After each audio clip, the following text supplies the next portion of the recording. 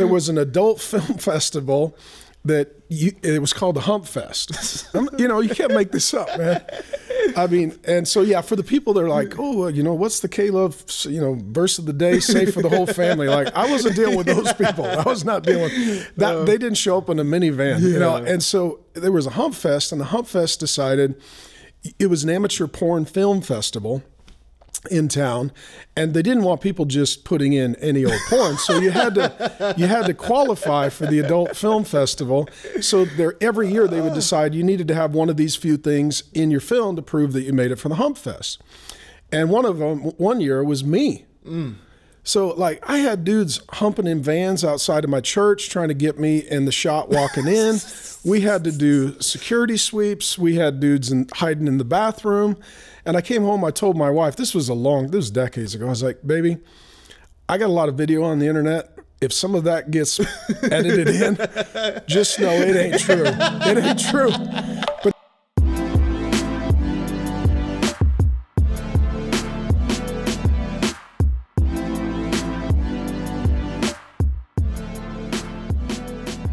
Yo, what's good, everybody? This is Hafiz, and I know, I know I said it, but welcome back. As you guys know, I've recently shared how we're I've been transitioning from doing the roommates to now doing the standard. And I know that I've shared that the biggest thing for me was that I wanted to be able to do more things for an older demographic of men. And while I'm so grateful for all the time, energy, sacrifices, and time you guys invested in this channel, it was definitely my season to move on. But, but I realized something about a month into it that there was absolutely no way possible I could ever stop doing the podcast without bringing literally the person who made every single thing happen. For a lot of you guys who know my story knows that 19 years old, I became a Christian and I really started getting a passion, a desire to be able to help transform the lives of men. And for those who have seen my content enough, you know that there's this guy who I'm constantly quoting who was literally the genesis of all those things. And some of you guys think is Dr. Peterson, which it is. It is Dr. Peterson. But before Dr. Peterson, there was the guest who is joining us today on the podcast. Literally, I kid you not, guys, I have probably consumed more content, more sermons, more videos from this man than any other human being on this planet. Started watching him when I was 19 years old.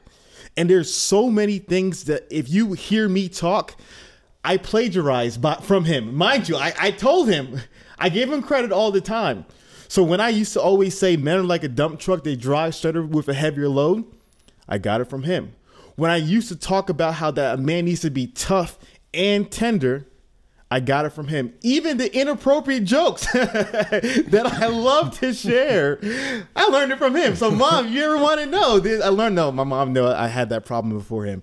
Um, and and even temperamentally, I found that there was only one other person who I liked. So when you see me and I'm screaming at you guys, know that this guy was screaming at me first. I'll never forget the day.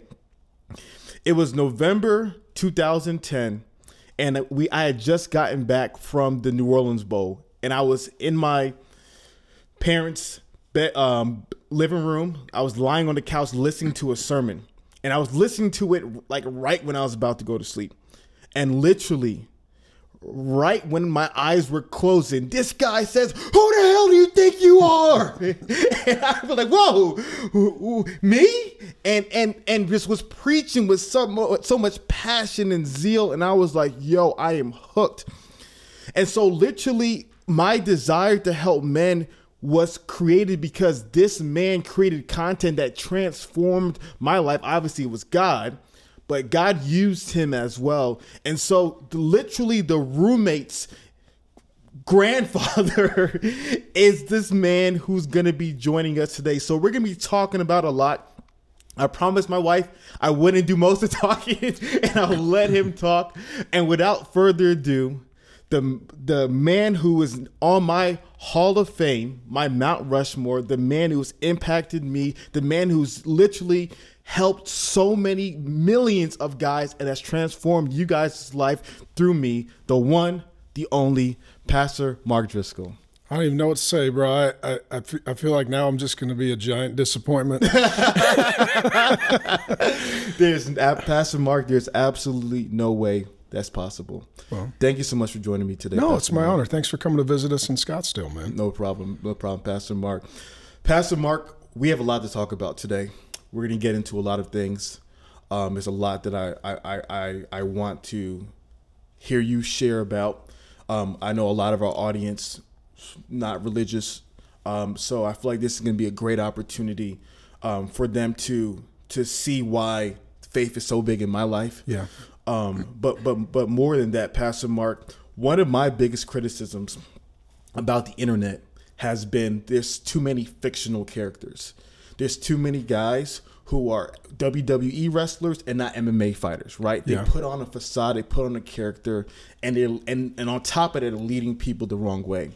And the one thing that I can say from not only following you from afar, but seeing your content for decades of my life, you are the same exact man that you are on stage in person. And not only that, your life is such a testament to faithfulness. And I want to begin by telling you how grateful I am for you. I got to learn so much. You got to take a lot of arrows for me, and and, and it's uh, beyond a privilege to be able to sit down with you today. No, it's an honor, buddy. I'm happy to do anything I can to try and be helpful, man. No problem, no problem. So I know who you are, Pastor Mark. So for our audience who, who don't know who you are, can you give them a bit of an elevator pitch synopsis about who you are and what you do? Yeah, um, gonna turn 53 soon. Um, and so, uh, been married to my wife Grace for 31 years faithfully. We dated for about four years before we were married. I met her um, at 17 in high school. She was a pastor's daughter. I was a Jack Catholic kid, and so uh, we started seeing each other. I started sleeping with a pastor's daughter. I mean, dude, the fact I'm not on fire right now uh, is a miracle. And so, uh, went to college. First man in my my family to ever go to college. And uh, she gave me a Bible, and I started reading it. And uh, I became a Christian, reading the Bible. Uh, met with my pastor. He's like, "You got to stop sleeping with her." I was like, "Dang." so um, we stopped sleeping together. We ended up getting married in college, and then I graduated with a degree in speech. Uh, we got married uh, between my junior and senior year. Um, and then God spoke to me audibly. I was I probably, I think it was around 19, uh, same age as you became a Christian. I was just going for a walk, and it was at a men's retreat. And I mean, I'm a brand new Christian. Like, all I know is like I need to read the Bible and stop sleeping with a pastor's daughter. I basically got two things on my to do list at that point. and uh, God spoke to me audibly. He said, uh, "Marry Grace, preach the Bible, train men, and plant churches." He said four things, and he said one other thing. that I don't know if I've ever shared publicly. He said, "I've called you out from am- among many to lead men." Mm. I don't even know. I'm like 19. Like I don't. Yeah. I don't even know what that means. Wow. Um, met with my pastor. I was like, God spoke to me audibly. I didn't know He still did that, and He's like, Well, that's what you need to do. So since that day, that's what I've been doing. Yeah. Uh, to the best of my ability, sometimes successfully, sometimes trip over my own feet in the red zone, you know. But um, and so now we've got five kids, uh, 17 to 25, 26. They all love the Lord. I've got uh, my son, who, uh, well, my oldest daughter, she's due any week with my grandson, um, and she married a wonderful guy. They run Real Faith, and uh, and it's so great to see your daughter loved and safe and happy. It's the best thing in the world, and I can't wait to meet their kid. My next son, I'll do lunch with him after this. Uh, he's our student ministry director at the church. He loves Jesus. Married a gal he met at, at 14, Oh wow. And uh, yeah, they got married. They've got a beautiful little boy. Uh, They so met my- in high school. they met in I think middle school. Oh wow. And then uh, he came home. He was like, Dad, I, I want to talk to you. I was like, okay, son. He's like, I, I, I like somebody. I was like, okay. He's like, it's a girl. I mean, yeah. I mean, we're in Seattle, bro. You got to celebrate the win. You got to celebrate the win. I was like, I was like, he's like, I think this is my girl. I'm like, dude, 14. Like, you got two years before you can go pick her up. Like, you, you know, you got to wait. Yeah. But they, he fell in love, and they, they've just locked in as best friends ever since, and they serve Jesus, and uh, he'll be a pastor soon. He's a good Bible teacher, and then my son, uh, who's 21, he's on his honeymoon right now Oh, wow. to a wonderful gal. And then I've got a daughter who's awesome and in college, and my son is a senior in high school. So I started off as a single guy and then got married and then had kids. And now I'm kind of rounding the bases into being the father in law and being the grandfather. And so we've got Real Faith, which is an online ministry uh, where we give away Bible teaching. And then I've got a local church that we planted as a church family. Uh, we planted as a family in Scottsdale, Arizona. So that's me, man. I've been in the pulpit um, 30 years. I've been a senior pastor like 28 years. Um, I started ministry immediately. I think I preached my first sermon a couple of weeks after I became a Christian. it was not a good sermon. It's not on the internet. It was it was craptastic, but I was trying. You know, I was trying, yeah, and Uh, so that's me, man. I'm a I'm a Bible teaching husband and father and pastor and grandfather. That's me. That's beautiful. That's beautiful. We'll, we'll, we'll get we'll get into all that. And and to me, I'm be complimenting you a lot today, Pastor Mark. But um, what I've always told people is that you can't fake it when your kids love you. That's the one thing you can't fake. You know, Yeah. your wife can maybe put on a facade to, for for public image. You know, and you know your, your your employees you can pay them off, right? But like you can't fake when your kids love you. And to me, like I said, literally remembering being 19 years old, listening to your sermon. I think what was your daughter like? What, 12 at that time, you know, and it's like hearing how you were raising her, and now being 30, about to be 33, and it's like she's now about to be a mom. It's like he he he did something right, and we'll we'll get into all that. So you started your you started being a pastor in '96. Yeah, I became a senior pastor. I think I became a senior pastor in 95 and and then uh, 95, 96. Yeah. I, don't, I don't even know. Like, I'm at the point now, like, I don't know, man. Is the 90s, you know, like, I had bangs and hope. You know, it was a long time ago. Yeah. Yeah. So what? So were you 25 or 26 when you I was first? 25 when I was a senior pastor. I, I became a college pastor. I think I was 22 when I first became a Oh, wow, pastor. So, wow. so I've been a pastor 30 years. I've been a senior pastor, I think 28 years, something like that. Being a pastor at 25, what was that like? I didn't know what, dude. it was not good. I, you know, I uh, there's God's will and then there's God's timing. Mm, that's good. And as a young man, I was way more uh, excited about God's will than God's timing, and so I would get ahead of His timing. And so, for me, um, looking around, seeing a, you know, my we were in an environment where it was just all non Christians and punk rock kids, and this was the grunge era, and this was, you know, uh, college students in downtown Seattle, and and just the lostness. And uh, I just thought, man, people need Jesus. I'm going to go do something. But it would have been good for me to be more patient. It would have been good for me to choose a spiritual father and spent more time under him getting developed. And instead, I just, you know, ready, fire, aim. I didn't quite get the sequencing right.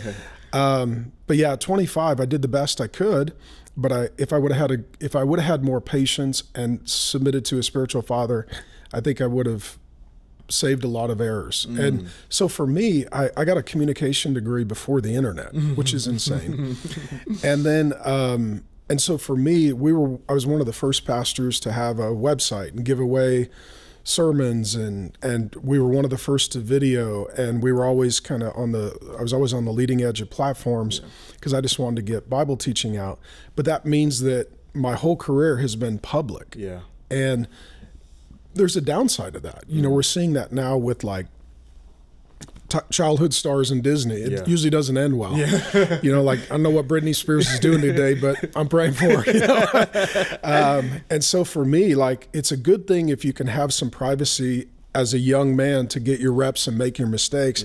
I just lived it all very openly and publicly, and I've kind of just been living publicly since my 20s. Yeah. So for the people who don't understand, you were a pastor in Seattle, Washington. Yep. And so people can get an idea. Is it is it safe to say Seattle in 96 was like America today? Totally. No, and, and what happens is so Europe is ahead of America as far as progressivism and socialism and liberalism and stupidism. and then what happens is uh, Canada would be just a half a step behind. Mm. And so if you're in a Seattle or a New York, um, or even if you're in a Toronto or Vancouver, you're usually about a generation ahead. Um, and then what happens is eventually, um, what happens in the major blue dot cities on the college campuses finds its way into mainstream culture. And so, if you want to know what the future looks like, go to a bright blue dot and walk onto the university campus and see what those kids are being brainwashed in. They're going to graduate, they're going to set laws, culture, entertainment, and politics. And in a generation, what they're experiencing on campus is going to be normative culturally. Mm. And so I got saved in college and I started in college what ministry. college was it, Washington? I went to, uh, I got a degree from uh, the Edward R. Murrow School of Communication at Washington State University, yep. speech degree. And then I went to Western Seminary. I got a master's basically in Bible. Yeah, yeah, yeah, um, yeah. So, yeah. And so ultimately, you know, I started um, trying to reach people that the typical church is not built for. Yeah. And so things today, people are like, oh my gosh, transgenderism. I had my first dude show up in church in a dress asking which restroom to use in like 97. like 97. Yeah. You yeah. know, and so today people are like, like no i mean yeah. the dude now is like probably a great grandpa you know like and so you know in certain places yeah. what's normal eventually works itself out so yeah. right now in alabama there's dudes walking around in dresses but in places like seattle portland san francisco la they've been walking around in dresses since the 90s yeah yeah. And that's really important to your story because to me i think what i would always tell people or i think people misunderstood especially they like I feel like you were a prophet outside your time in the like uh, like 2010 or 2012 like 2008 to 12 kind of era because it was like everybody was still enjoying the the, the last times of the Bible Bible Belt, right? Yeah. And there was still this like veneer of like, oh yeah, it's America's a Christian society, right? And and you were literally like in America in 2035 back you know yeah. Seattle in the during that period of time and it was a whole different world just so so people can get an idea of what the church was like was there not like this adult film convention that use you as the theme yeah, or like I, I, have had a, a, a, wonderfully weird life. Just strange things. Like i'll never forget like uh, there was this uh, gay um, magazine that and they or newspaper and I was going into a burger joint. One of my sons was little and he's like dad how come you're on the cover?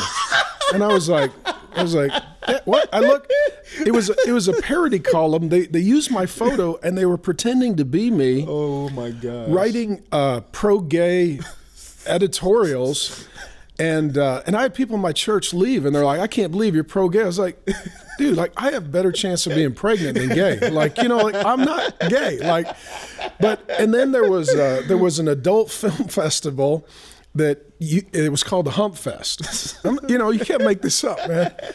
I mean, and so yeah, for the people that are like, oh, well, you know, what's the K-LOVE, you know, verse of the day, safe for the whole family? Like, I wasn't dealing with those people. I was not dealing with that. Uh, they didn't show up in a minivan, yeah. you know. And so there was a Hump Fest, and the Hump Fest decided it was an amateur porn film festival in town and they didn't want people just putting in any old porn. So you had to you had to qualify for the adult film festival.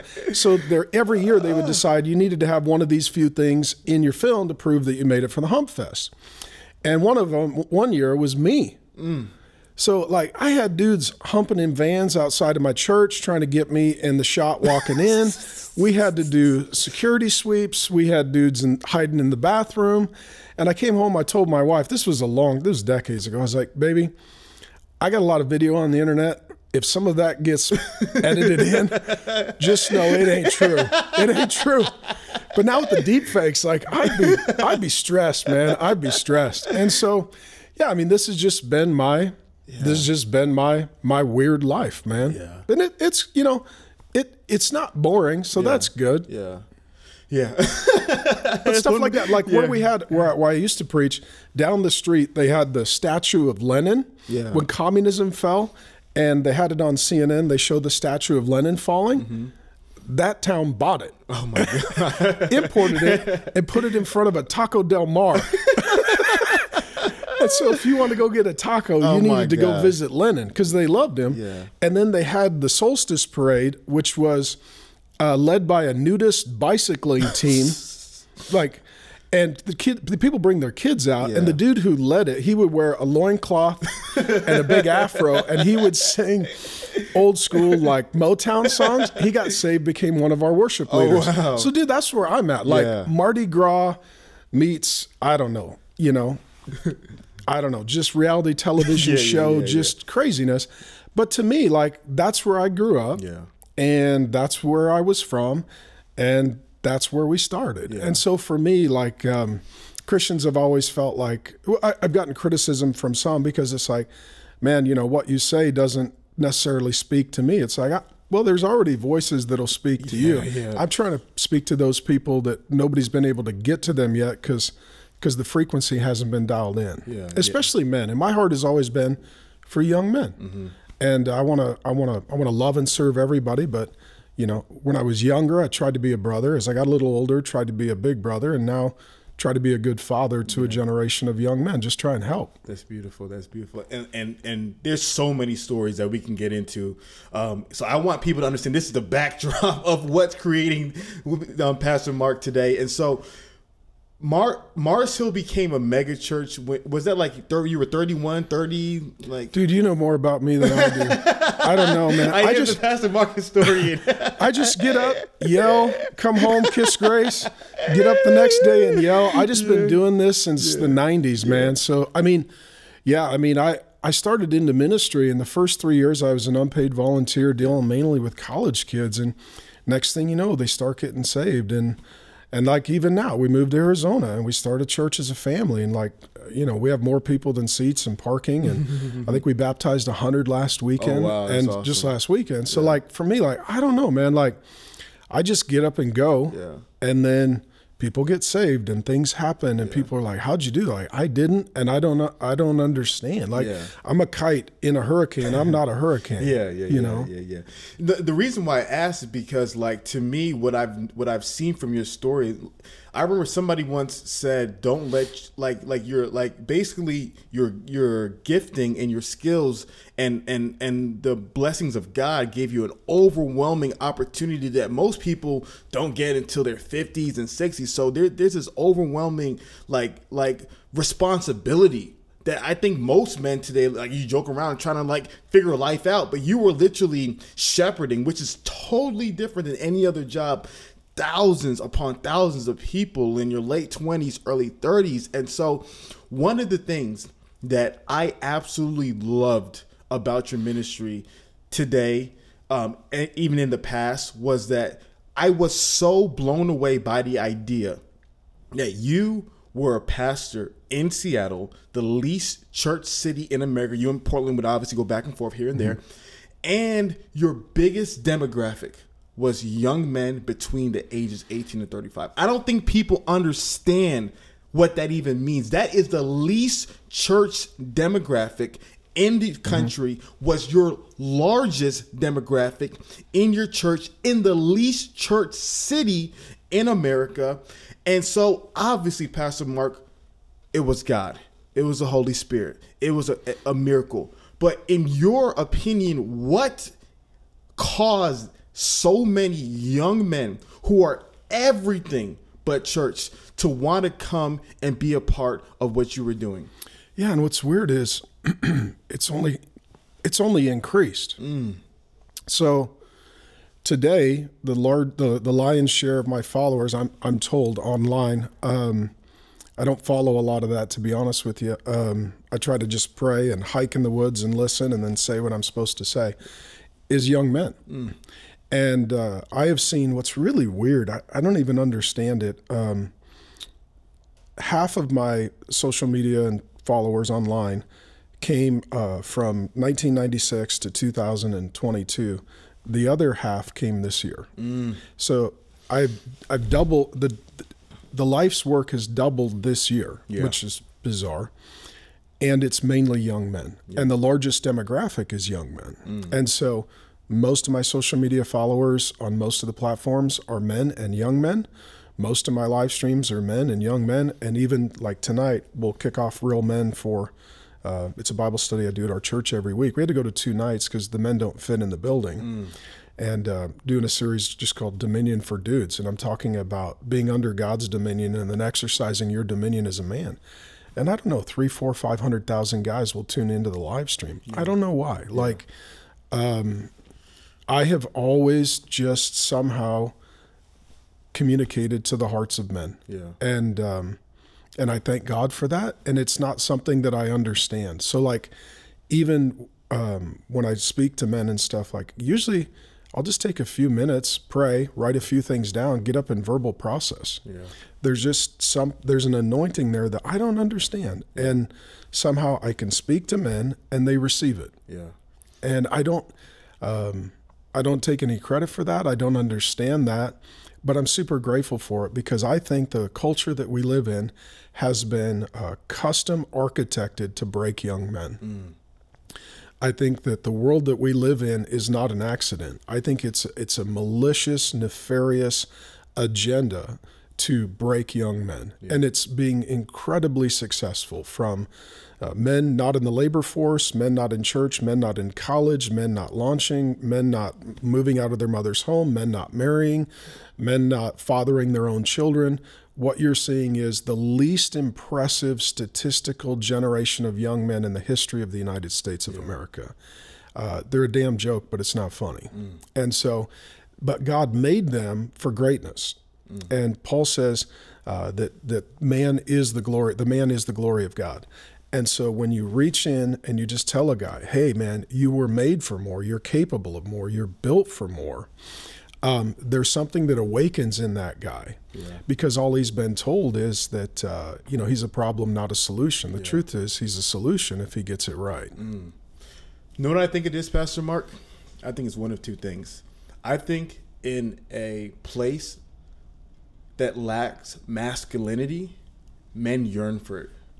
And You're built for it. You drop a fish in water and they're like, "Oh, this feels like home."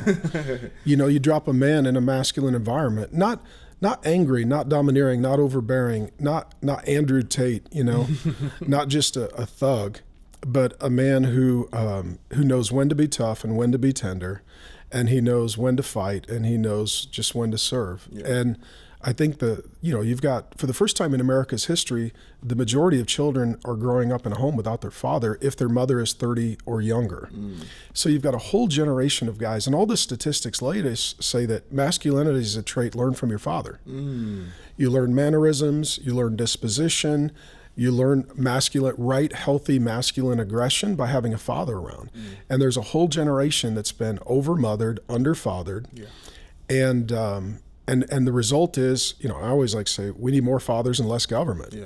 Because if if the men don't fill the gap, then the government does, mm. and all the government does is just breaks men. That's all it does, and it creates dependence for women and children. Yeah. No, that's that's that's brilliantly put, Pastor Mark. And I and I think the second thing that you do a fantastic job, and I'm not even sure you even realize that you do this, is that you sell men a dream and a vision. I think that's something that I like. I was asking myself, like, what what draws me to the message?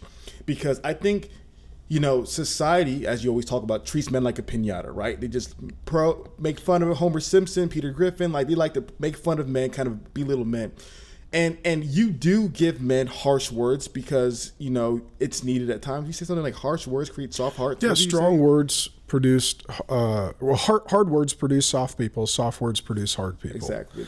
And that, and you've got a whole you've got a whole world where it's like I got a participation trophy. so you were built for greatness. I mean, you know, just breathing and fogging a mirror is not is not the end zone. Yeah, yeah, yeah. So I think when you like give men that vision, like I remember one time you were going on a tangent about video games, you know, and just talking about video games aren't simple, it's just stupid, you know. And Yeah. then all of a sudden, but then you gave a a, a vision for what life can be outside the video game. You know, if you want a dragon, there's this dragon here. If you want this princess, and you and you sold this vision for a greater future than what you're currently living today. And I think what's going on in society is that society is selling men a, a neutered dream, and there's some guys who are like, uh, it's just something's in their spirit. It's just like that's that's not right but there's no one else yeah. giving a, a, counter message and and i see that like your message was always something proactively that men are aspiring to be like oh like that's what i was called to be and it's like resonating with my soul well and and part of it is i mean we're christians not everybody watching is like you know god looked at the world said it's broken and there's a problem so I need to figure out what the solution is. And his answer was, I'm going to become a man. Mm. That must mean that the most powerful thing on the earth is men. Mm. You know, and so if God's going to become a man, now we know what a man is supposed to look like and what he's supposed to do. Yeah. And so for me as a Christian, like you can't if you want to be a man, you better figure out what the prototype is, and his name is Jesus. Yeah. You know, and and for me too, like um, I think men need vision. And what you get, I mean, it was just so devastating. I mean, right now we've got, with COVID lockdowns, I mean, the vision that our government gave young men was go home, don't get married, don't launch, uh, don't start a business, don't marry a woman, don't have a child.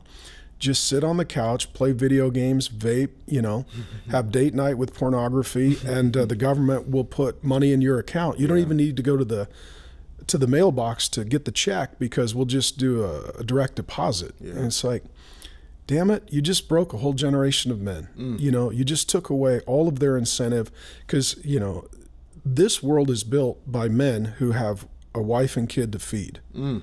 That's what built this world. Mm. And if you take away men with a responsibility to feed their wife and children, the entire economy and culture collapses because wow. it's only held up by men who are motivated to love their wife and kids. Mm. Man, it was something to lose. I remember you, you you you shared in the sermon series how in Ephesus was it Ephesus when they went to war was that when they Galatia. went to Galatia was Galatia they went to war and they would bring their their family, wife and kids wife and kids to the front. You would kiss your wife and kids and then you would go to war yeah. and it was like either I'm going to kill that guy or tonight he's going to get my wife. Yeah, yeah. And you fight differently. Yeah. When you fight for your family, you work differently when you work for your family. And there is something profoundly honoring to come home from work at the end of the day as a man and your wife smiles and welcomes you, your kids run up and greet you, and you sit down at the dining room table and you realize I'm taking care of them mm. and they're safe because of me. Yeah. There's something in a man that that is what God made him to be and do. Mm. And when he does that, it's hard, but there's a profound sense of joy. That's beautiful.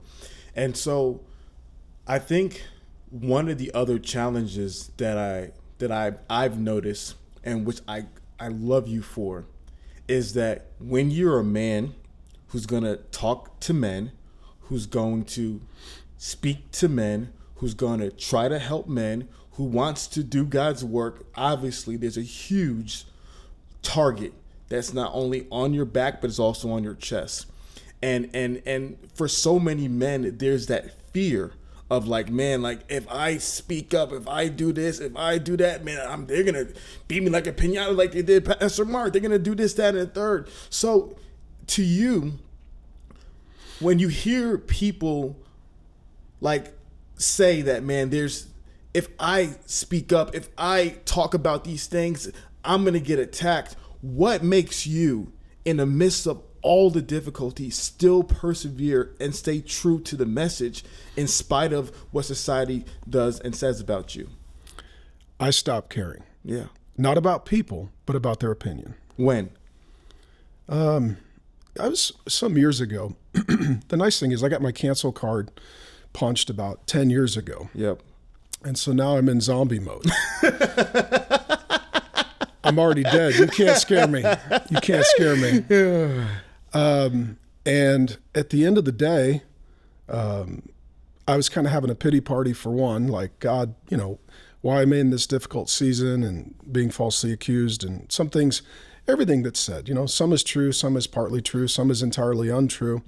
And people are like, well, why don't you sift it out? It's like, well, it's for the same reason when I go to the zoo and all the monkeys are flinging poo, I'm not trying to sort it into piles. I'm just going to go home. Um, and uh, I remember I was talking to the Lord, and uh, He always calls me son. And so whenever the Lord speaks to me, He calls me son. I said, you know, Father, why, why, why am I going through all this, man? I was in my 40s and, uh, you know, had resigned my job, lost my platform. I was locked out of all my social media accounts, didn't even have my passwords to defend myself for, yeah, for at least six months. I exited social media for 18 months. I'm in my 40s, five kids, pickets, protests, death threats, people at my house. My kids are having trauma and trying to deal with all the fear and and I'm like, God, why? And and I remember the Lord spoke to me. He's like, Son, you gave me your sin. Why won't you give me a reputation? Mm. I was like, Okay. Mm. And I'll tell you, man, it's easy to give the Lord your sin because you don't want it, but it's hard to give me your reputation Wow. because you do. Wow. And so I was like, okay, you can have my reputation too. And mm. so I uh, I know I'm not always right, but when I fail, I will fail falling forward. Mm. I will not fail falling backward. What do you mean by that, Pastor Mark? I I don't have a reverse gear in my life. You know, even if even if I miss the shot, I will take the shot. Yeah. Even if I lose the fight, I will be in the fight. And so for me, God built me for war Yeah. and um, I don't understand it. I think I have a, by God's grace, I've got a pretty high pain tolerance, and I think that your pain tolerance determines your leadership lid. Mm. So if you want to have more influence, you need to endure more pain. So you don't fold in the midst of difficulty. Exactly. So like I was, uh, I was reading a book um, on world class athletes, guys that are in the Olympics, and guys that you know are kind of that next level. This is good. all of them, it said in this study, had one thing in common. At some point in their life, they have profound trauma and deep loss. Hmm. And they push through it and they increase their pain threshold. Hmm. And so they, the, the clinician literally said their training was in their trauma. Hmm. So you got a whole generation today. They're like, I've had hardship or trauma, which they haven't. Like, if somebody you know misgenders your pronoun, you know, you're not a trauma victim. Yeah. you're you're, you're a baby. Yeah, yeah, Um, but if you if you push through it, what it does, God uses the adversity to strengthen you. Mm. And so, you know, the world class athletes, they're like, I can keep going because I know how to push through pain and increase my pain threshold. And so, the key for a man is this always just pushing yourself to the very limits of breaking and then getting stronger. Yeah. But we live in a day when guys are overmothered, underfathered, path of least resistance, you know, and you've got a whole generation of guys that are like, I'm going to live with my mom, you know, and I'll drive Uber. And as soon as I make the $80 I need for the day, I'm going to go home and call it a day. It's like, mm. no, I, I, I want to see, I want to see what breaks me. Mm. And then I want to heal from that. And I, I want to go further and I want to have a heavier load. Mm. And so for me, it's I'm not you know the key as a man is you're not competing against other men. Every day you're getting up and you're competing against yourself. Yeah. It's like what did God make me to, to, to be and to do, and where does my breaking point and what is my pain threshold and what is my responsibility level? And some guys would be like, well, what if you fail? You're going to. Mm. As a man, you will fail. Yeah. As a man, you will get fired. As a man, you will lose. As a man, you will get your teeth kicked in and you will swallow them. Mm. And then you will get up the next day and you'll fight through it. And once you overcome it, then you're going to be a man that other people respect. Yeah, that's powerful, Pastor Mark. Man, that's that's that's that's that's really really good. And so, one of the things that you talked about briefly before we recorded is that you you've you've totally disconnected. Um, f- um, You can't you can't listen to what everybody thinks about you. and that's where so you know i'm old enough that uh, i remember when they started reality television shows. And uh, i remember uh, i got to meet mark burnett. He was kind of the godfather of all the first reality television shows. And here's the truth about reality television. It's not real. Yeah, it's all staged it's all choreographed it's all nonsense yeah, and so at the end of the day, what happens is um, it, it- Dr. Drew Pinsky, I, I, I did Loveline with him some years ago. Adam Carolla couldn't Yeah. make it, so they tapped me in. It was a weird day. I remember we're taking sex calls, me and Dr. Drew in LA, and I was like, what the heck? Um, and, uh, but he was talking offline and he since wrote a book on it. It was called The Mirror Effect. And he was talking about how celebrities model and then their followers mirror. Mm. And so what happens is like if that's why you have influencers mm. and they have products or behavior or beliefs.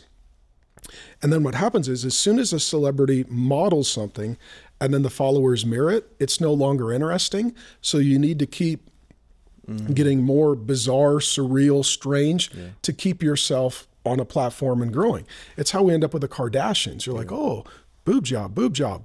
Dad got a boob job. You're like, like, whoa, this is what, you know, Yeah, yeah, yeah. is you know what's next? yeah, you know, yeah. did they have a beagle? And you know, what are we going to do that poor beagle? You know, Uh, you know like because everybody in the house has to go through plastic surgery, and and and but what it is then, it's continually determining what will get me fans and followers, and what it is, it's worship, Mm. because we were made to mirror. And we're made in the image and likeness of God. Yeah. And if we don't mirror God, we mirror someone or something else, and it becomes a counterfeit. So, for me, you will absolutely poison your soul if you if you say or do or have or believe something and then you worry about what the response will be and then you change Based upon the response. in order to get Yeah. a better or bigger response. Mm, yeah. And to me that's not real. To me that's complete counterfeit.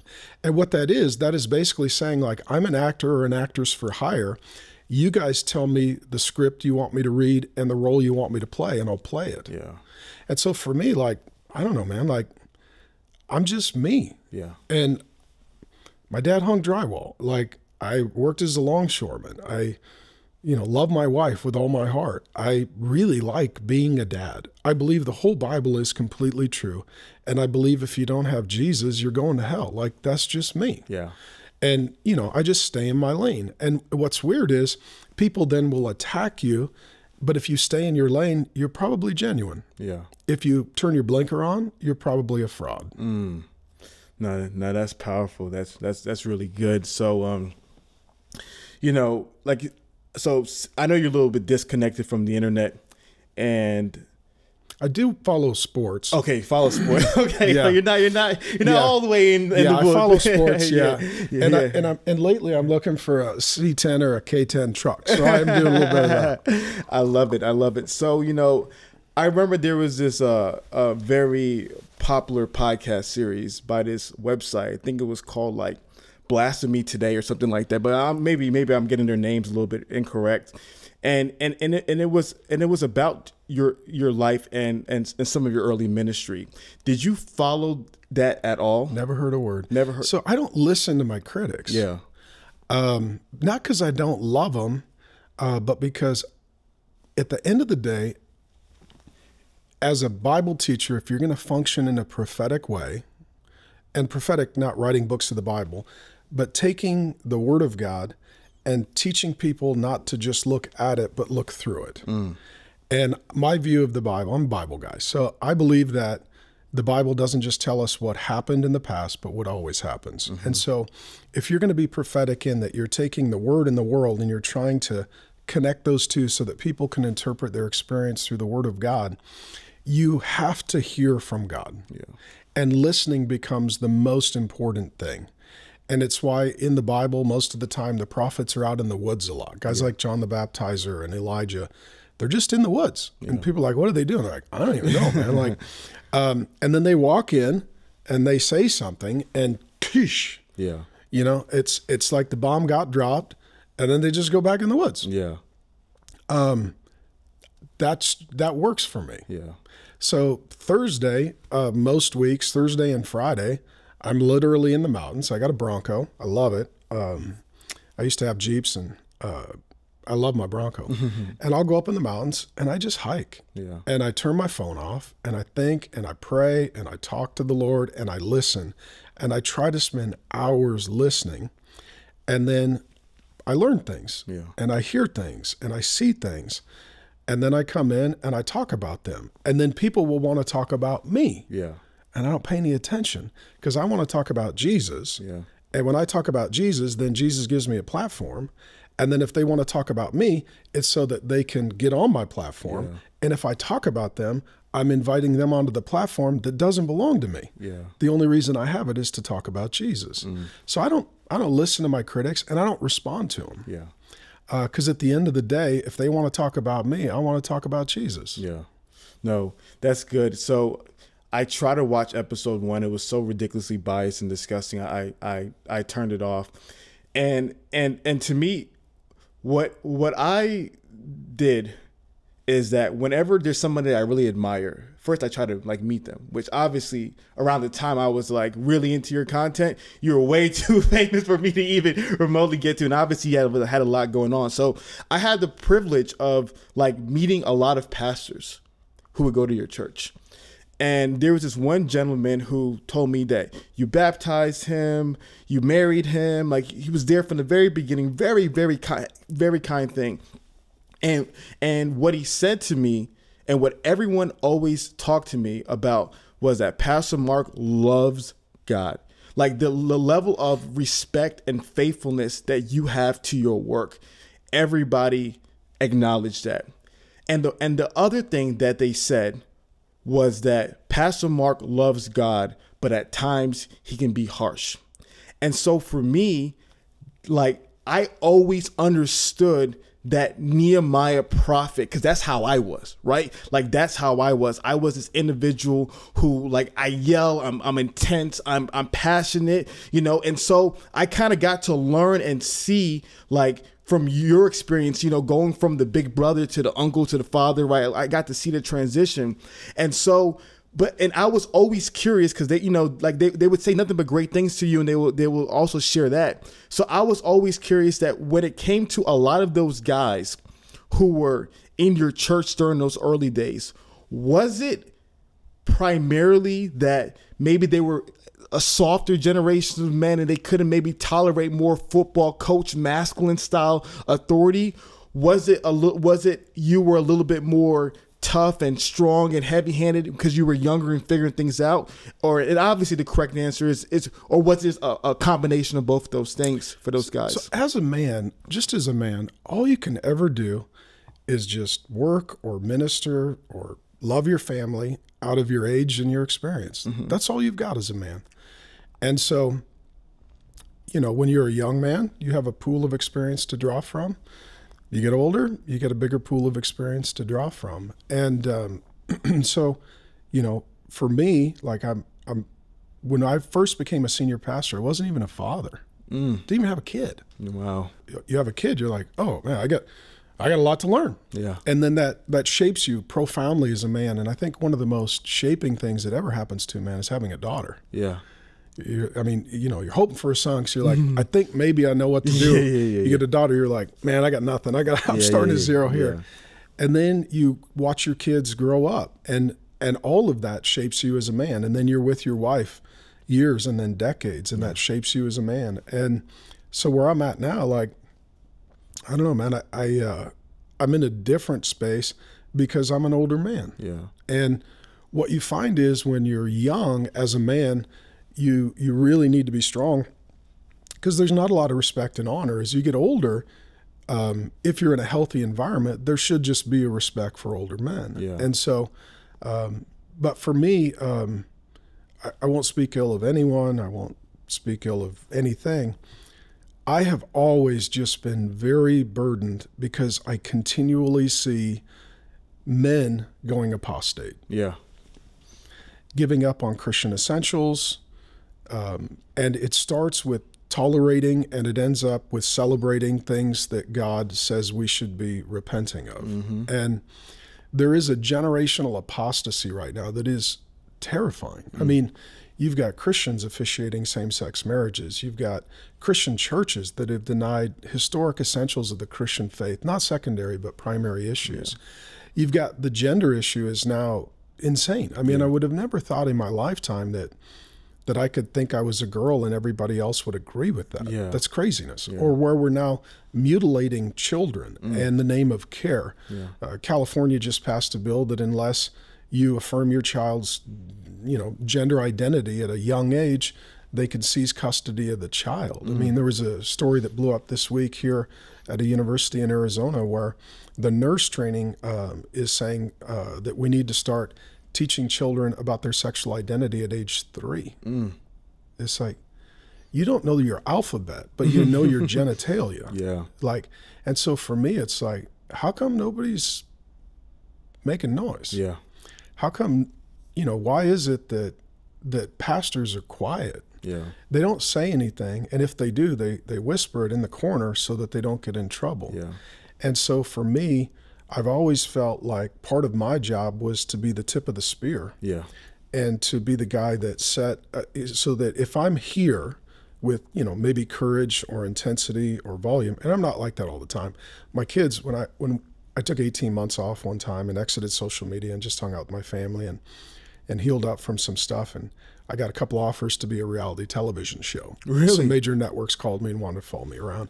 And my kids just laugh because they're like, well, there's dad taking a nap. There's dad reading the Yeah, Dead Puritan. yeah, there's yeah. dad playing wiffle ball. Yeah, yeah, yeah, Because when you're in the pulpit and you're under an anointing and you're preaching to the nations, there's an anointing and an intensity there that isn't like that all week. Um, but for me, at the end of the day, it's like if if I'm willing to live here, and most guys are willing to live here, especially Christians and pastors and leaders, you know, if if if I can, can I pull them up to here? Yeah. Can I get them to at least go through whole books of the Bible and not skip the hard stuff? Yeah. Can I get them when it really does count to fight for the men in their church and to give them dignity, to protect women and children? Because the, the part that comes out in me, I'm a fierce defender and protector of women and children. And I see what happens when men are passive, evil men hurt women and children Yeah. and that just bothers me at a soul level. And so, for me, it's like um, I just I don't feel like I'm uh, I don't feel like I'm strong. I don't feel like I'm loud. I just feel like most guys are weak and they're quiet. Oh man. So so you mind if I share what I think? It's your podcast. um, I- resonate so much with you, right? Because I resonated a lot with Dr. Peterson, because I because I understand the the temperament, because my temperament's similar. It's like this fiery temperament, right? And, and Passion. Passion, yes, hundred percent. And, what happens when you're a man who has passion? they think you're angry. Yeah. No, you're just passionate. Yeah, They're, they're, I'm I'm passionate about my wife. yeah, I'm pa- I'm passionate about my grandson. yeah, Um, I'm passionate about being a dad. yeah, I'm passionate about people meeting Jesus. Yeah. I'm passionate about teaching books of the Bible. And we just live in a world where if a man is passionate, it's like there's something wrong with him. yeah, And it's like, no, I think the problem is if you're not passionate, you probably are not a motivated man. yeah. And you're not a man that anybody's going to follow. Mm-hmm. Yeah. I remember you once said people get in trouble for going too far, not enough people get in trouble for not going far enough. And like you said, what happens in society is that when you're a man who's passionate, like things bother you. And I think when people are not passionate, they don't they don't realize it. And I tell I tell it's a, it's a perfect example.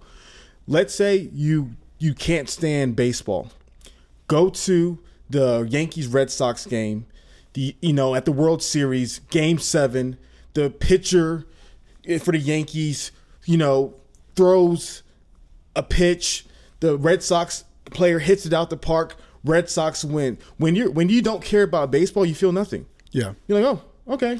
Oh, this- what what happened? Oh, cool. But but if you're the Yankees fan and, and you're in that stadium, Yeah. and and the Red Sox, you're so because you care. Yeah, the You- dude in front of you is wearing your beer.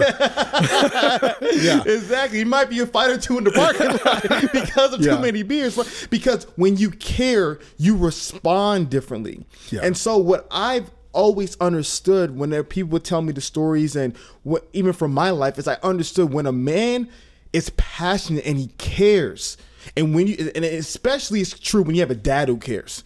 For too many guys, they don't have a dad who cares. They, they, they have a passive Ahab type dad Absent altogether. yeah, and and so because he doesn't care, it, he, he does. There's nothing. We call it the NMP mindset. Not my problem. Huh? It's not my problem. The world's burning. Not my problem. My kids are going to hell. Not my problem. My wife doesn't respect me. Not my problem. They just don't care. But when you care, it's like you have this. It's not anger. It's it's this passion. And I saw you as a man with with passion who was in the craziest city in America, who literally porn festivals did themes about you, who people were literally showing up to your house when your wife was home alone, who people were giving th- death threats to your children, where people were simply slandering the faith and and and leading people in the wrong direction, and you're this one guy and. Uh, what? How else do you want him to act, right? And I'm not making, I'm not neglecting or ignoring anyone's experience because no one's perfect. You're not perfect. I'm not perfect. You don't walk on water. I don't walk on water. I'm not neglecting any of that. But to me, I I'm always the guy that I understand the general at war is not going to be my best friend. I understand the wartime consigliere, whatever that Italian word from the from the Godfather, Godfather is. He's not gonna be buddy buddy when it's time for war. And I and I feel like what's happened in today's society is that, like you said, because so many guys are raised by mom, so many guys are so raised. guys are raised by screen and the screen, right? Pacifying them, video games, pornography, and and so when there's somebody who cares more about your life than you do. Now he was bullied. I'll never forget this, Pastor Mark, and I won't make this about me because I promised my wife. but I never forget. Uh, I was doing college ministry. It was the year 2012 to 2011 Got a good memory, man. you know what? I thank you. That's that's very kind of you to say. I was doing college ministry. It was 2011. I was watching your sermons, and I was and I and and, and had a bunch of um, students that I was in charge of, and and they were just wiling out. They were just wilding getting drunk, sleeping around, just doing all kinds of crazy things. And I remember literally going to their rooms and screaming and yelling and you know what I mean, just going kind of crazy. And like, what's wrong with you? It's not that big of a deal. I said, that's the problem. It's your life and you're ruining it. Of course, it's a big deal. Yeah. And I never forget, and this always happens. I'm curious how much it happens for you. About 10 years later, one of the guys said, Man, Hafiz, you know, back in those days, man, I couldn't stand you. You were always on my case. You were always harsh. You were always this, but man, you you you loved me. You were the only one who cared. You were the only one who said something. Everybody else let my life go to the crapper, and you were the only yeah. one. How often are you seeing that people are now reaching back out to you, communicating like Pastor Mark, man, like I didn't see it back then, but by God, gosh, I see it right now. Yeah, I mean, what's interesting this last weekend, we just celebrated seven years at Trinity Church here in Scottsdale. Yeah. And uh, what's one of the great things as a man is when you get an opportunity to take all of your experience and then start something fresh mm. based upon the experiences that you've had, good and bad.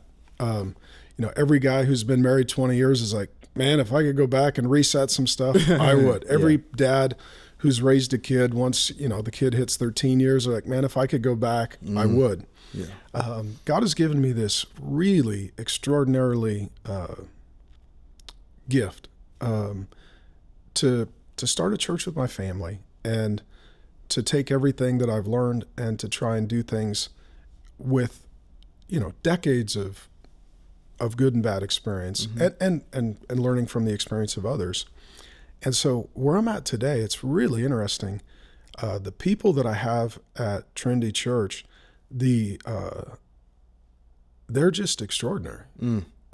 um, they listen they love they give they serve they pray they care and um, and i just feel like i get to be more like a dad. Mm.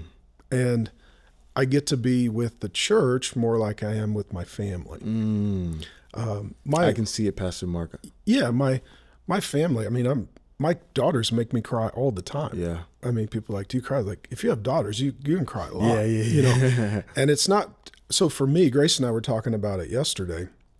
She usually cries when she's sad. I cry out of joy. Mm. So I, and you know, and so for me, it's my daughters and my grandkids and people meeting Jesus. Yeah. I am very passionate and it means a lot to me. Um, and so it's in this really wonderful season to where it's like, it is really devastating. It's very, one of the most devastating things of, of just ministry is you have a front row seat to watch people self-destruct. And it's and it's almost like they, they're an arsonist that set their house on fire and they're burning and you're outside yelling like jump out the window jump Yeah, out the yeah, window. yeah, they're like yeah, why are you yelling at me? Like jump out the window. you're like i love you. I care about you. You're, you're you've set your life on fire. You're hurting yourself. And if you're a man you've probably got a wife and kids and other people that are going to suffer with you. Mm. and but I, i'm at this season now where um, I have a level of respect and authority that the Holy Spirit has given me that I don't fully understand and truly don't deserve. That people listen to me. Yeah. And I think, you know, I think once people know that you deeply, profoundly love them and that you have their best interest at heart and that you are trying to cause their life to be the best for them that it possibly can be, I think their ears open up. And I think the older you get, the more you're about, um, you know, making sure that the people know that you care about them so that when you speak to them, um, there's not as much resistance. And because we're sinners and fools and we do stupid things, we've all got our resistance. But, um, you know, the older you get as a man, you realize that uh, that your hammer's a Thor hammer. Yeah. yeah. And if somebody loves you and trusts you, you wield a lot more authority and you come with a lot more force than you anticipate. Mm. Yeah. No, And when you're a young man, you don't know that because you're like, nobody listens to me, so I got to dial it up to 10. you know? But when you're an older guy, yeah, that's good, Pastor Mark. when you're an older guy, it's like, you know what? I, I, I carry a Thor hammer. I, I'll never forget um, when my when my uh, my oldest daughter was little. She was the compliant, obedient, good kid, and she was little, and she did something wrong, which she hardly ever did anything wrong. She's a very good girl. I'll never forget. I didn't raise my voice. I didn't yell. I'm the dad that hugs his kids, kisses his kids on the head, tells them he loves them. I'm super yes affectionate dad. I'm the yes dad. I'm the party planner dad. Yeah. But I'll never forget, I looked at her and I just said her name. I didn't raise my voice. I didn't say it harsh. I just and and she threw up. Oh, wow. Just knowing that I was disappointed. Mm. Yeah. I was like, I didn't know I had that superpower. and my son, it didn't work like that. Did not work like that. Yeah. Um, but part of it is, as a man, it's like who knows that I love them and who knows that I care about them. I need to be very careful that my words um, build them up, don't break them down. And and and and when you're a younger man, you don't understand that. Yeah. And and that's why, and part of it too. Maybe I don't know if you want to get into this, but like Please. when younger men are having conflict, like it's brothers. Yeah. But it's totally different when there's a conflict between a father and a son. Mm. Yeah. So, like, if you grew up with a brother, you're like, you could just walk in and jump your brother and assault him. Yeah. Yeah. But if your dad did that, you'd remember that for the rest of your Oh, life. that's now we're talking, Pastor Mark. And so, you know, today, now I'm like, I'm a father. Yeah. And yeah. spiritually, I'm a father. Yeah. This is good. And I want to make sure that um, that I become the person that my family and my flock need. Yeah. And usually, as a man, it's like, well, this is who I am. It's like, no, once you're a father, you're like, I need to be who my wife needs. I need Mm. Wow, to be so good. who my kids need. I need to be who my flock needs. Yeah. Uh, and it's not about me, it's about them. Yeah. And it needs, I need to adjust and lead in whatever way Yeah. is best for them. And Hmm. so um, I'm really enjoying this is actually my favorite season of my life. I can see it. This is the best season of my life. Um, You leaned up even more. what's that? You feel like you leaned up a little bit as well. I don't know what that means. Like I got smaller. Like like lost some weight. Oh yeah, no, uh, yeah, no. I mean, when you get older, bro, if you put on weight, it doesn't get better. It doesn't Yeah. get better. Yeah, I don't want to be one of those guys that like, if I drop something, I got to order another one on Amazon because I can't get down and back up. Yeah. Yeah. Yeah. Yeah. Um, no, I'm healthy. yeah. physically healthy, emotionally healthy, spiritually healthy. Um, I would say most of my emotional life right now is gratitude and joy. Yeah. That's beautiful. And uh, I, I married the greatest girl in the history of the world. yeah. I love my kids, and they still are there, Yeah. and they love Jesus, and uh, they're willing to have me involved in their life. Mm. And now they're bringing people home they want to marry, and they're awesome people, That's beautiful. and they're having grandkids, and uh, you know I got little guys, and Yeah. pretty soon my hikes, you know, will probably be with my grandsons, yeah. And awesome. take them fishing and and take them out in the woods, and so for me it's like uh, so much of a young man is just striving yeah. and uh, and then you reach a season where you don't have anything to prove and you don't have anyone to impress. You just know that you're the Father's son, and like uh, like at Jesus' baptism is one of the most amazing statements in the Scriptures. Uh, J- the Father looks down at Jesus at the baptism and says, "This is my Son, in whom I'm well pleased." Yeah. And at that point, he hadn't performed a miracle, he hadn't Yep. preached a sermon, he hadn't cast out a demon. And I just feel like the Father loves me and I'm his son. Yeah. And it doesn't, it doesn't, it's not because I'm a, like a great son, Yeah. but I have a great father. Yeah. And the more I live in that place of sonship and he teaches me how to be a father at home and at church, I don't know. I just find that life flows in the spirit in a beautiful way. And, um, and, and I really, um, I'm grateful for everyone I've gotten to baptize. I'm grateful for every sermon I've gotten to preach. I'm grateful for everything I've gotten to do. Um, I'm, I'm grateful for all the sins I've been forgiven of Yeah. and I'm I'm grateful that um, that I just get to enjoy my life, Mm. and I get to enjoy it with people I love, and I get to do what I love. And I think for a man, I think the main thing is just find God's will and live in it, Yeah. and be content, mm. and then enjoy the people and things as they come, without this striving ambition to double down and potentially risk everything to have a little more mm.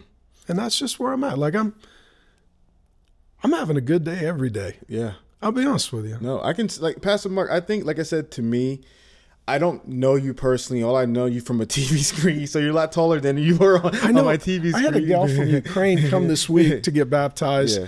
and she came up to me. She was crying. I gave her a hug. and She was super sweet. She's like, "I thought you'd be taller." I was like, "Me too." I mean, I'm still waiting for a growth spurt, man. Yeah. I'm taking my gummy vitamins every morning. I'm hoping. Yeah. So so to me, nah, this is this is this is this is so much so much good stuff. Question for after all these years of ministry, how different is or are men today from when they were in 96? Would you say men have become worse? Have do you think it's been stagnant? What what would you say is the difference between men when you started ministry and how men are today? um, men grew up, young men today grew up in an environment that maliciously broke them. And so you can look at men and be like, why are you not working? Why are you not launching? Why are you not leading? Why are you not marrying? Why are you not fathering? Or you can ask, what environment did, because because every man today, here's how I see it. Every man today was a little boy. Mm. And what did we do with and to and for that little boy? Hmm. Because we live in a world, I always say, there's a national organization for women, there's not a national organization for men. Yeah. Uh, you can go get a women's studies degree, you can't get a men's studies degree. Um, and and and we we created an environment where we said, you know, fathers are dispensable and disposable, um, and governments are perfectly qualified to educate and raise children. And so what we're looking at is a whole generation that, quite frankly, was a lab rat for a social experiment. What if we give them a screen? What if we give them pornography? What if we give them legalized drugs and vaping? What if we took away their father? What if we took away their faith? Um, what if we um, had them and their mother dependent on the government? And, and, and let's just see what happens. Yeah. Well, those guys grow up um, broken. And so you're seeing mental health, suicidal ideation, depression. And you could look at those guys and say, you know, you're not much of a man. Or you could say, I'm sorry for the system that you grew up in. To me, it's almost like a child that grows up in an abusive, traumatic environment. Yeah. You could look at them as an adult and say, why are you so broken? Or you can say, this system is broken and it broke you. No, that's that's good. So You know, and there was a study too that came out recently for the first time since the 1970s in this sociological data study. Uh, 12th grade boys are conservative. Yeah, I remember hearing about that. Girls are still liberal. Yeah. Progressivism is just built on telling stories to manipulate emotions. Yeah. So it tends to work more for women than men. Um, but the young men have reached the conclusion like, this ain't working. Yeah. This ain't working. Yeah. you know, I, I, I've had enough of pronouns and gender and genitalia and dependency and government and addiction and spectrum, you know, like enough. Yeah. And to me, it's when a whole generation of young men, two things happen. They get angry and then they get active. Mm. But you don't get active until you get angry. Mm. And and then the key is where are the fathers that are going to help those angry young men get active in a healthy way? Yeah. And you're seeing the Andrew Tates, you're seeing the Jordan Petersons, you're seeing the Joe Rogans, you're seeing certain guys are getting uh, the ear of primarily younger men. But, you know, Paul says it this way he says, You have many teachers, you don't have many fathers. And so at the end of the day, you know, what we really need is a generation of older men Yeah. who have a father's heart that say, "Hey, I want to I want to help build up and pull up the young guys." Yeah. And honestly, that's what I'm doing for the rest of my life. Yeah. I mean, that's my thing. I believe that's what God called me to. I believe that God I mean, God has prophesied that over my life. Yeah. Um, Pastor Jimmy Evans, uh, one of my pastors, I didn't really know him. I was at a conference, like 4,000 pastors, and uh, I resigned my job and took a break. And I was at this conference, and I was supposed to speak, and I didn't want to speak, so I didn't just because I wasn't in a good headspace and I, I didn't want to say anything I regret. When you're under pressure, just shut up, you know, and then get your head on straight. Learn that the hard way. Yeah, and he got up and he said, Before I speak, I got a prophetic word for Pastor Mark. So he asked me to stand. I'm like, I don't need a prophetic word from a total stranger, Yeah. you know, live streamed on the internet with 4,000 pastors in the Yeah, room. And he prophesied and he said, uh, You did ministry as a brother, I'm paraphrasing. He said, You're going to return as a father. Mm. And he said, You're going to you're going to have the greatest influence of your life Yeah. and I think I'm starting to walk into that. And so for me, like, um, a brother wakes up every day and thinks about himself. Um, a father wakes up every day and thinks about his son. Man. And so for me, it's like, how can I help? How can I serve? How can I encourage? I've got three sons. I love them with all my heart. I got a great son-in-law. Uh, I got men in my church that I love and I care about. And uh, I just feel like, you know, if we want young men to be better men, we need older men to be better fathers. Yeah. Pastor Mark, so to me, I I judge people by a myriad of things and I'm I like judging the healthiest way. And there's and there's things about you, same with my dad. Like what I love about my dad the most is that he like he's he looks at me like I'm like three years old when he when I when I come home.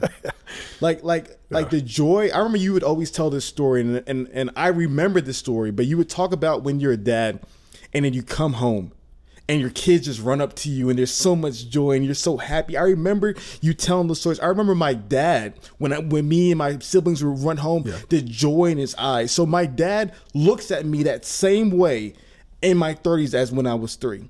So it's consistent faithfulness. You since like I said, me, I started watching you at 19. You were doing this, like I said, even when I was in freaking elementary school, right? Consistent faithfulness. You are helping men through and through. And what I saw around 2008 and 2000, uh, 2009, 2012, helping men was in. It was trendy. It was a thing to do. Manhood, masculinity, man up, da da da. It was a thing kind of in that reform movement, right? And then it died. And then it kind of dissipated. And then it became whatever new trendy thing that the church is obsessed with nowadays. And so my, my biggest thing is that I remember one time I interviewed a pastor, uh, a very famous mega church in Houston, and I and I told him I was like, so my question to you is like, why does your why does your church have like you know seventy five percent women and twenty five percent men? And he's like, what do you mean? I said, why is your demographic 75 25? And he's like, I never knew that. And I was like, what do you mean? Hmm. He's like, oh, I, I, I never noticed that. I said, in my brain, I was like, how do you, you are the pastor of this giant mega church. How do you not know that 75% of your attendees are women and 25% are men? So you are a guy who's, this has been your life for 30 plus years and I don't want to. I don't want to be that guy who's always telling the church what it's doing wrong and treating the church like a pinata. I don't want to be that guy. I want it to be this conversation. But my question to you is, why is there not more guys like you were saying who are putting their arms around men? There's like I'm, I'm like, why are guys and pastors? Why are they not doing it? And then they're leaving the world to do it. And like these mercenary type guys are just teaching complete garbage to these kids. Why is that not? Not something that other pastors like you are passionate about? Why do they not even see it's a problem? I have no idea. I mean, to me, um, if we lose the men, we lose everything. And if we don't get anything but the men, the men will get the rest. Mm. So, you know, like to me, like I do real men, it's my weekly men's Bible study. I'll teach it tonight. And, you know, I just tell them, I said, we build men up to bless women and children. Yeah. The goal is not just to build men up, but to bless women and children until the wives are like, my husband's better. Yeah. And the kids are like, my dad's better. Until we're there, that's not, you know, we're not doing our job. That's why the Andrew Tates and stuff, they're like, we build men up, but are they blessing women and children? And are they honoring God? Mm. And so there, you you're not a you're not a grown man until you're living for God and others. Mm. If all you are is living for yourself, you're still a selfish little boy. And so I, I don't understand. I mean, today, right now, like the first thing that are from from the government to the church to the school system, the first thing that should be happening is how do we raise men up mm-hmm. to bless women and children? Yeah. Because if you do that, you'll get rid of poverty. Statistically, you'll get rid of it. You will create generational wealth. You will get rid of women who are sexually assaulted, abused. You'll eliminate most of sex trafficking. Um, statistically, you'll get rid of uh, drug addiction if there's a father in the home. I mean, most of our social problems yeah. will go away. Mm-hmm. And so, like, even at Trinity Church, which is a beautiful, wonderful church that gives me the honor of being the pastor, um, it is men. Yeah. And it's great men. I mean, I was just up in the mountains with our table leads for our men's ministry. And these are the guys that like if if something happened to me, my sons could just call one of them mm. and get wise counsel and a spiritual father. Yeah. These are the kinds of men that now that my grandsons are being born, I really want my grandsons to draft behind these men. Mm. And so I think the church has this unique opportunity because there's nowhere else in the culture yeah. that is welcoming men and has something positive to build them. Yeah. And so the church is all we've got. But praise God. I mean, it's an, an incredible opportunity. Like most churches have got a great children's ministry and a great women's ministry and a great student ministry, all of which I'm for. Mm-hmm. But like if we had better husbands and fathers, we, yeah. we probably kids ministry would be the backup. Women's ministry would be for her to get friends, not for her to have somebody to pray with and walk mm. with because her husband would be her friend. Yeah. Student ministry, the student director would be going after the lost kids because the dads would already be walking with the found kids. Mm. And so, yeah, to me, I mean, um, our church is an experiment in what this looks like. And early return on investment is really good. And so for me, like, I, um, I don't do men's ministry because it works. I do men's ministry because I love the men. Yeah. Yes. You know, and it, yeah. and and and what happens is how many guys have ever had, you know, anyone, let alone a pastor say, "I love you. Yeah. I believe in you." I tell my guys all the time like, "You matter. Your marriage matters. Your kids matter. Your job matters. I'm here every week because you're important to me." Yeah. And for most men they're like, Nobody's ever said that, right? Because all the government wants to do is just tax you and blame you. And then all the church wants to do is just get you to tithe and uh, drop your kids off, mm. you know? And it's like, no. I mean, what would it look like if we actually started where God started with men? Mm. You know, God started human history with a man. God came into human history as a man. Yeah. And we're not against women and children, but what we're saying is the best thing we can do for women and children is have better men. Yeah Now that's powerful. I remember you you mentioned that point, and it was so funny because when I was a teacher, my my my students, I would always tell them, "Hey, I love you. I'm proud of you." Uh, and literally now, decade later, they they remember that because totally. to your point, if no one in your life ever told you I love you, you're gonna remember the one person who did, 100%. right? So I really, I always appreciate that style that you you always always spoke life into men. So my my other question is that one of the things I've been noticing as well on the internet, and like I said, you're not as much on the internet, but I think you have a good awareness of the culture. I think you've always been a great cultural analysis. What is that? Like a soci- sociologist? Is that is that what it yeah, was? Yeah, in the Christian perspective, it'd be the missiologist. Missiologist, yeah. yeah, yeah. And so I I think that was what I've always loved about you. You were always knowing like psychology, and I learned about Alfred Kinsey through you. Like you were always very uh, uh, uh, astute on the cultural teachings that are poisoning the minds of the people. And so one of the things that I've noticed that's been my biggest anger and frustration is that you have like these internet men who are now demonizing and poisoning the well of marriage for a new generation of men. 40% of millennials, latest statistic, don't believe in marriage. They think it's an outdated institution. Yeah. And so in the past, I remember, like I said, like 20 years ago, it was like the feminist types who were like demonizing yeah. marriage and telling women not to get married and to being 45 and sex in the city lifestyle and being single was a thing. But now we're seeing like these men are now poisoning the well, teaching men that marriage is a waste of time, it's nothing but exploitation, literally the feminist but men version of it. So, what is your message to men who have been hearing all these unhealthy messages about marriage and and now are very discouraged and think it's just a woman's gonna divorce you and steal your kids? What what is your message to those guys who've been filled with messages from men who are anti-marriage? So, um, the second most important decision you make, this is what I tell my sons, is who you marry. Most important decision you make is who's your God. Mm-hmm. Your God and your wife. You get those two straight, your life is probably going to end mm-hmm. pretty good. You get either one of those wrong, and uh, there's a mushroom cloud over your life down the horizon. Yes, you know, it's going to blow up. Yeah. And um, the reason that many men, young men, struggle with marriage, there's a whole bunch of reasons. Some, they didn't grow up with a father in the home, so they've not had a, a model of marriage. Yeah. Two, their dad abandoned them and left, and so they have a father wound, and they have a they have a they have they have a negative or, or fear of marriage. They they have an interest in it, but they're terrified of it. Mm. For other men, um, they're just lazy and selfish. Mm. They're like, you know what? Um, I don't want to do that much work and I don't want to have that much commitment and I don't want to take on that much responsibility. And so there's there's a myriad of reasons. But at the end of the day, most young men are part of a massive social experiment that is not going to end well. Mm. You know, and so historically, how have civil how have civilizations flourished? It's easy. Young men go through a rite of passage and they're told you're not a boy, you're a man. Then they're then expected to take on masculine responsibilities like marriage and parenting and work and service of others and care for, you know, the culture. And uh, and and our culture decided let's just let's do everything opposite. Mm. Let's make boys girls.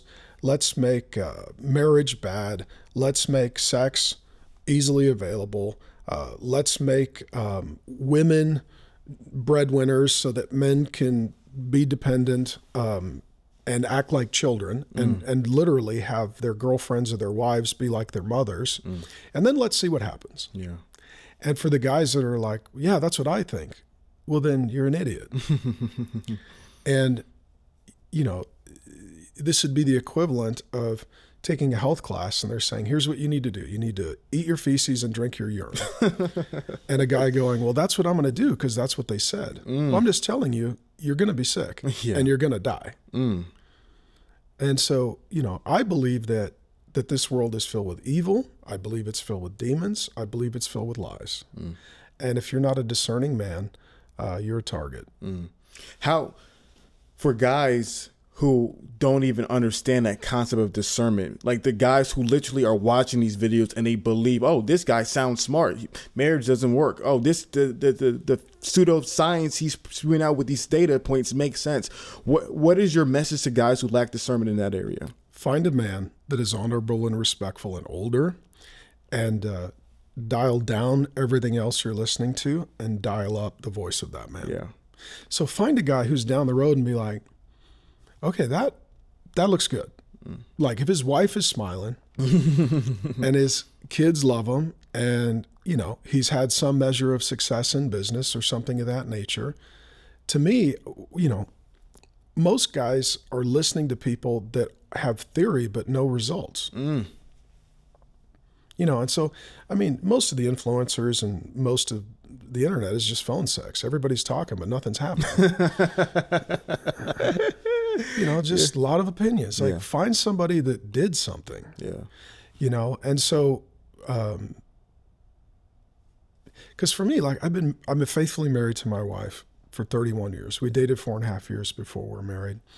Uh, march 12th 1988 i uh, went on my first date at 17 with grace um, being married is the hardest thing you'll ever do because it exposes all of your selfishness all of your insecurities and you can't hide who you really are in marriage. You can you can hide who you are almost everywhere. Yeah. But who you truly are is who you are at home with your wife when nobody's looking. Mm.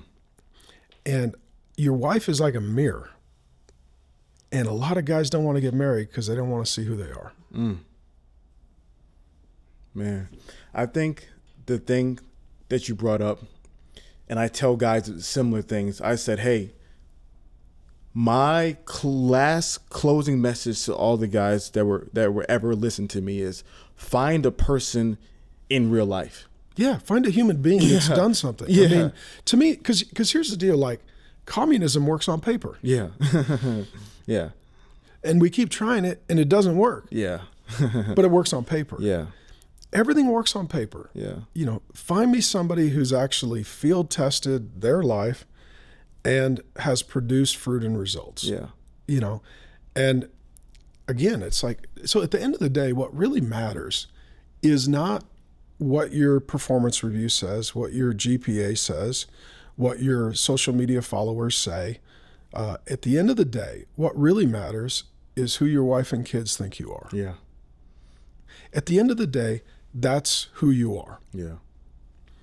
And and at the end of the day, um, if you find a man whose wife and kids respect and enjoy and appreciate and honor him, you should listen to that guy. Yeah. You know, I've been doing this long enough. There's a lot of people that go up. There's not a lot that stay up. Mm. You know, there's guys that every band's got one song that's a hit. Yeah. Every author's got, you know, one book that trends and every social media influencer's got, you know, one clip that goes viral. It's not going up, it's staying up. Mm. And it's faithfulness. It's what Eugene Peterson called long obedience in the same direction. Um, find a guy who's like, man, he he slugged out his career. He loved his wife. He he loved his kids. He wasn't perfect, man. He'll be the first one to tell you his his failures. Of course.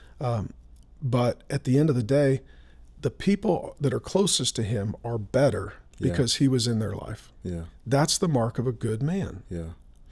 And I I talk about this idea of like I have a Hall of Fame. And people are like, "Oh, what what what do you mean by Hall of Fame?" Like like Hall of Fame is like my favorite people of all time. And I said there's three qualifications, actually five, but I'll focus on three today. Loved by wife, admired by children, successful in career. The world will worship you as long as you're successful in your career. Mm-hmm. But to but to have your career, your children, and your wife sing praises, and the minimum to get into Hall of Fame is 25 years. You have to do it for 25 years. There's, there's no early ballots. There's none of 25 year minimum, which is which is why I love you so much.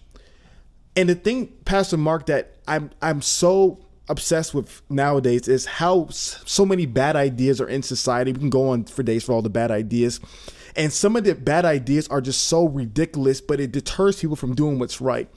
And one of the things I loved was that like seeing your your children grow up. All of them love the love God. All of them love each other. All of them love you.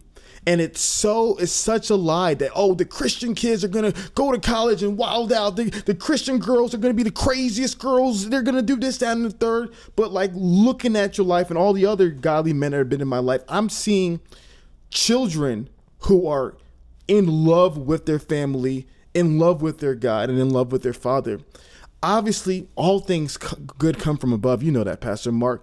What is it that you feel like you did for men who want to be uh, have a legacy of a father like you did what is those things that you did that made your family so intimately in love with you through all the years um, yeah i mean maybe this would be a good place to to wrap it up but like there's just i talk a lot about uh, ministry of presence and uh, you know God didn't just look at the world and send a book, He came down and He was with us. That's, mm-hmm. that's Jesus. So it's the ministry of presence. Yeah. And a lot of life is just the ministry of presence, it's being there. Mm. And a lot of times guys will be like, you need to be there for the big days. You're like, well, the truth is in life, sometimes it's the little days that become the big days and the little moments that become the memories. Mm. And so, you know, I, one of my regrets is when I when my children were younger, I, I, was present. I was at the baseball games and I was at home for dinner and I was there for family movie night and I was there. But sometimes I wasn't mentally there. Mm. I was thinking about work or distracted or ambitious for something I was working on. I may have even been physically present, but I wasn't emotionally, spiritually, mentally present. And now with technology, you can be physically present and completely absent, just mm. constantly distracted. That's good. And what I find when you're raising kids is um, it's that ministry of presence, mm-hmm. and and I like to be present. I'm a guy who um, I need my wife and kids. If I didn't have a wife and kids and a flock, I would not be a healthy man. Mm. And I'm not saying I'm the healthiest man in the world, but it'd be worse. Yeah. And you know, I mean, just being there when you know, your son walks in. I work at home. I used to. I've always worked from home, as you do. Have my library at home. Son comes in. He's like, "Dad, I want to play wiffle ball." I'm here. Yeah. Like, okay, I'm not working on Colossians anymore. I'm working on curveballs. That's yeah. what I'm doing today. And I'll never forget. Like, there was a my daughter. She uh, she ran track. She's super great sprinter, and she got injured and she couldn't run for a while. And so then she'd recovered and she was coming back and she uh, had a tournament. It was a long drive and then a ferry ride and then another long drive. It was like hours to get to. It was raining, it was cold. She was only going to run one race, just the 100 because she was returning. Mm-hmm. So what is that like? I don't, I don't remember the times, like 13 seconds yeah, or something, yeah, yeah, you know, like 13 seconds. Like, okay, so to go there, to wait, to come back, like I got to blow like three or four hours mm. for 13 seconds. Mm. And she was like, Daddy, don't come. You don't need to come. You don't need to come. And I was, so I said, Okay, honey, I won't come. Well, of course, I'm going to come. So I got there and I sat, I positioned myself at the finish line. My daughter ran through. She looked over because mm. she was wondering if I was going to be there. Mm. And I was there. Yeah. She came over. She said, Daddy, you didn't need to come. I was like, No, I did, honey. She's like, But you took a whole day for 13 seconds. I was like, Yeah, but I will give up a whole day yeah. to make a memory in 13 seconds yeah. with my daughter. Because not so that I can be a good dad, but because I believe um, we both need that. Mm. And it's just being present. Yeah. And a lot of times guys are like, what do you say? What do you do? Sometimes it's just showing up. Yeah. It's like dad was at the dining room table. Yeah. And he turned his phone off. And as, as weird as it sounds, there's a lot of kids that if those two things happened, their mm. life would change. If dad was at the dining room table with his phone off, their life would change. Mm. It's not as complicated, and it's usually not a, a big thing. It's like a thousand very little moments that aren't missed. Mm. I think that's a perfect place to end it. Pastor Mark, man, it's been many years to come to this point. Um, I've been through many difficulties as you have as well. No, nowhere close to what you've been through. But everything that you went through is made for this moment to transform the lives of men. before you close with your closing message, can you can you let the people know about? We should have touched your books, but can you let people know yeah. about the, your books as well? Yeah, I'm supposed to tell them this. Uh, Win Your War is a book I wrote with my wife, and it's on spiritual warfare and why culture is the way it is, and and even for those who don't know the the God of the Bible, it's a, it's a, is there evil and is it at work in our world, and if so, how is it playing itself out? And so, we'll give them a free copy if they go to realfaith.com/slash the roommates um, we'll send them a free digital copy. And I just like to give Bible teaching away. So if anybody wants it, that's great. I love it. And, and in, in, in closing, is there a message you want to leave the young men who are who are watching this video that you want them to take away from this conversation? Um, you need to figure out who you think Jesus Christ is. Mm. And until you figure out who Jesus Christ is, you won't figure anything out. Mm. And once you figure out who Jesus Christ is, he'll help you figure everything else out. Mm. Gentlemen, man, I, I hope that you are blessed as much as I've been blessed by sitting next to Pastor Mark. My biggest piece of advice is one of two things. First, you got to make sure you follow Pastor Mark, um, follow him on YouTube. Um, make sure you're looking up Real Faith Ministries, checking out all this content. But more than that, find a man like this in person who can continue to speak into your life because this is where true transformation happens. Having older godly seasoned men to give you the wisdom. Thank you guys so much for your time. Thank you guys so much for your energy. And i pray that you do not miss out on all these amazing words spoken to you. My name is hafiz and i'm joined by pastor mark. Thanks brother. Thank you guys and have a great day